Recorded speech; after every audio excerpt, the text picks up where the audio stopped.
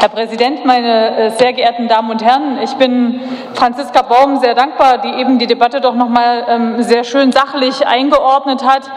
Denn ich bin ganz bei ihr, dass es um die Frage ging, finden wir gemeinsame Antworten, ja oder nein? Und da lagen unterschiedliche Entwürfe vor. Das muss man ähm, so offen sagen. Von der AfD übrigens gar nichts. Das muss man auch noch mal sagen. Ähm, das ist immer wieder ähm, interessant, wenn man denn hier den ähm, AfD am Pult erlebt. Ähm, und leider gab es wenig Bereitschaft von Seiten der CDU, sich auf eine tatsächlich dann substanzielle Debatte einzulassen. Und das fand ich ehrlich gesagt auch sehr bedauerlich. Aber da komme ich gleich noch mal ähm, ein Stück weit genauer drauf. Wenn wir noch mal auf die Zeit der Pandemie zurückschauen und dann auf die zweieinhalb Schuljahre, die für alle Beteiligten, man muss es so sagen, echte Ausnahmezustände waren, dann führen wir uns doch noch mal vor Augen, was das ähm, konkret bedeutet hat. Wir hatten Kindergärten und Schulschließungen, es gab immer wieder Quarantänesituationen mit ganz, ganz unterschiedlichen Settings, es gab wechselnde Stufenmodelle, es gab sogenannte Kontaktverbote, ne, die Vorgaben, mit wie vielen Menschen aus unterschiedlichen Haushalten ähm, zusammengekommen werden sollte, sich immer wieder verändernde Regeln dazu, immer wieder auch ja, Covid-Infektionen im persönlichen Umfeld, übrigens bis heute, da bin ich ganz bei Thorsten Wolf, die Pandemie ist nämlich einfach mal noch nicht vorbei. Es gab aufwendige Testregimes, dazu den Distanzunterricht bei oft fehlenden oder schwierigen technischen und räumlichen Voraussetzungen zu Hause und das alles immer gepaart mit der großen Ungewissheit, wie geht es eigentlich weiter. Wir waren ja nicht äh, Pandemie erfahren, das muss man einfach ganz deutlich sagen. Und das hat natürlich was mit unseren Kindern und äh, Jugendlichen äh, gemacht. Das hat auch Auswirkungen auf das Aufwachsen einer ganzen jungen Generation und auf die Bildungsergebnisse und Lernbiografien im Besonderen, aber natürlich auch an, auf alle an Schule professionell Beteiligten. Ganz klar ist, die Lernzeiten, das muss man so deutlich sagen, haben sich während der Pandemie deutlich ähm, reduziert. Das traf besonders ähm, Kinder, die sozusagen in den Untersuchungen dann immer als leistungsschwach gelten oder die unterschiedliche Schwierigkeiten haben, die sie bestreiten müssen. Kinder und Jugendliche, ähm, die auch Defizite in der Selbstregulation zum Beispiel haben. Vielen hat einfach auch die Struktur im wahrsten Sinne des Wortes ähm, gefehlt und das macht sich bis heute bemerkbar. Die empirischen Befunde der Kompetenz Kompetenzforschung durch das IQB zum Beispiel und andere sind leider eindeutig und zeigen uns auf, dass mittlerweile nur noch etwa mehr ähm, ein Drittel der Grundschulkinder gut oder sehr gut lesen können. Und das muss uns natürlich zu denken geben. Auch die Kompetenzen in Deutsch und Mathematik haben sich bei den Kindern in der vierten Klasse dramatisch ähm, verschlechtert.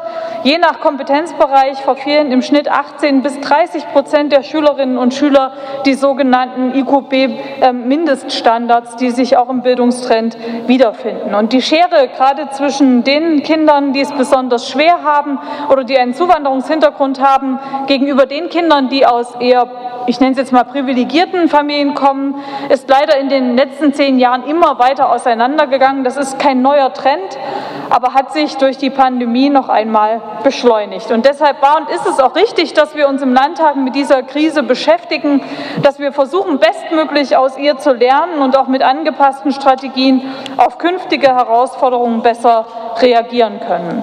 Und die vorliegenden Beschlussempfehlungen zum Antrag enthalten nun unsere Empfehlungen und Zielbeschreibungen und es ist eben schon ausgeführt worden, sie wurden gemeinsam von den koalitionstragenden Fraktionen eben mit ähm, Kollegin Baum von der FDP erarbeitet, in sehr guten und vertrauensvollen Beratungen, für die ich auch noch einmal danken möchte. In insgesamt fünf Ausschusssitzungen mit einer intensiven schriftlichen Anhörung, Frau Baum hat ja gerade beispielhaft aus der Stellungnahme der Evangelischen Schulstiftung zitiert, wir haben aber einen ganzen Berg, kann man sagen, an Stellungnahmen. Das war auch wirklich extrem hilfreich. Da nochmal ein Dank an alle, äh, die uns da unterstützt haben, haben wir uns mit den Positionen und Vorschlägen von Vereinen, Verbänden, Gewerkschaften, Interessensvertretungen etc. auseinandergesetzt. Und viele dieser, dieser Empfehlungen, die uns dort gegeben wurden und den Hinweisen, sind auch in die Beschlussempfehlung mit eingegangen. Und weil ja Herr Tischner so ein Stück weit gegen das Bildungsministerium ausgeteilt hat, muss ich sagen, lieber Herr Tischner, das ist nicht redlich, weil natürlich auch das Bildungsministerium in dieser Zeit nicht untätig war.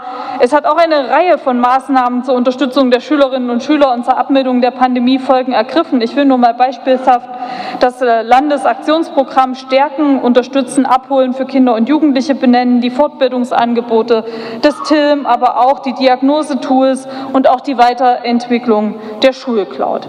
Doch nun lassen Sie mich ähm, noch direkt zum Antrag kommen. Da ärgert mich übrigens, Herr Tischner, wenn Sie hier vorne stehen und sagen, da stünde ja nichts konkreter drin, da werden nur weitere Maßnahmen aufgeführt. Bitte lesen Sie doch einfach mal. Auf den vielen Seiten, zum Beispiel unter Punkt 7, sind die Maßnahmen sehr konkret, konkret ausformuliert, und zwar von A bis M. Das sind 13 unterschiedliche, ganz, ähm, ganz kleinteilig sozusagen äh, beschriebene Maßnahmen. Und das können Sie nicht einfach so unter den Tisch wischen, nur weil Sie, das tut mir leid, sich wirklich etwas bockig an den Rand gestellt haben. Ich bedauere das übrigens ausdrücklich. An den Beginn gehört nochmal der Dank an alle Familien, alle Beteiligten, Pädagoginnen, ähm, Erzieherinnen, Lehrkräfte, die in den schwierigen Zeiten den Kindergärten und Schulbetrieb mit allen Unwägbarkeiten und auch oft Rückschlägen durch Krankheiten oder Quarantänesituationen aufrechterhalten haben.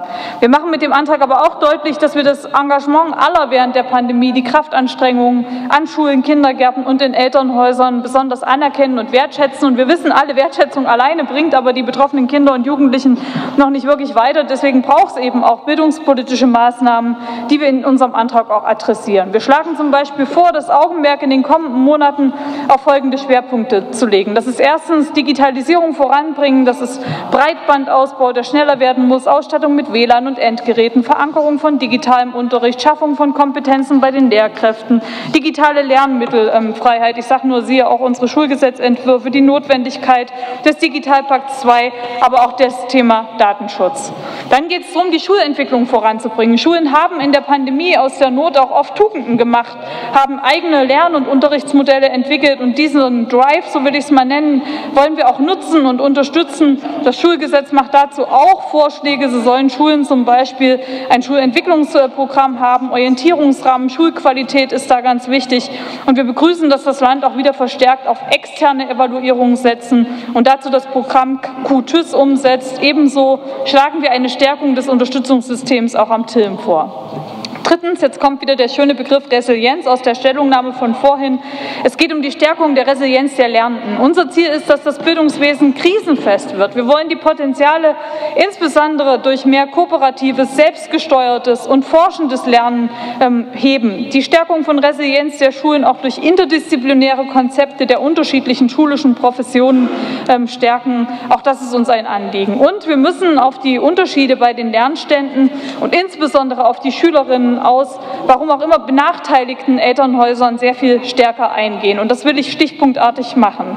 Schulen brauchen Instrumente und Werkzeuge, um qualifiziert Lernstandsermittlungen durchzuführen. Und die sind in Thüringen vorhanden, beispielsweise das ILEA, das ist das Diagnosetool für die Grundschulen und die Klassen 5 und 6. Und die müssen eben auch in die Anwendung kommen. Äh, bislang nutzen das leider aus unserer Sicht jedenfalls zu wenige Schulen. Die Schaffung von zusätzlichen Lerngelegenheiten, beispielsweise am Nachmittag durch das Schul Schulbudget, durch außerschulische Partnerinnen und Partner, durch stabile Netzwerke, Unternehmen, Betriebe und auch durch Nutzung der kommunalen Bildungslandschaften. Und aufgrund der zunehmenden Heterogenität bei unseren Schülerinnen und Schülern sowie dem Anspruch auf individuelle Förderung benötigen wir flexiblere Wege in der Schullaufbahn, so wie beispielsweise die flexible Schuleingangsphase, auch die individuelle Schulabschlussphase, die wir flächendeckend ermöglichen wollen. Auch könnte man über ein Abitur im eigenen Takt nachdenken. Zudem setzen wir in Thüringen konsequent auf frühkindliche Bildung, auf mehr Wissenschaftlichkeit, beispielsweise mit dem Zentrum für frühe Bildung, auf Fachberatung, vor allem auf Integration von zugewanderten Schülerinnen, auf Sprachförderung von Anfang an, alltagsintegriert und inklusiv, zum Beispiel indem wir die Sprachkitas fortsetzen. Das Landesprogramm Startbildung will ich benennen. Wir brauchen zudem mehr DATS-Lehrkräfte, das ist uns allen bewusst, ebenso auch die schnellere Anerkennung von ausländischen pädagogischen Abschlüssen. Und selbstverständlich gilt es auch weiterhin, ich habe es schon erwähnt, die Pandemie ist nicht vorbei, in Hygienekonzepte zu investieren und den Schulbau konsequent zu verbessern, ebenso wie wir die personelle Situation in Kindergärten und Schulen weiter verbessern wollen und müssen.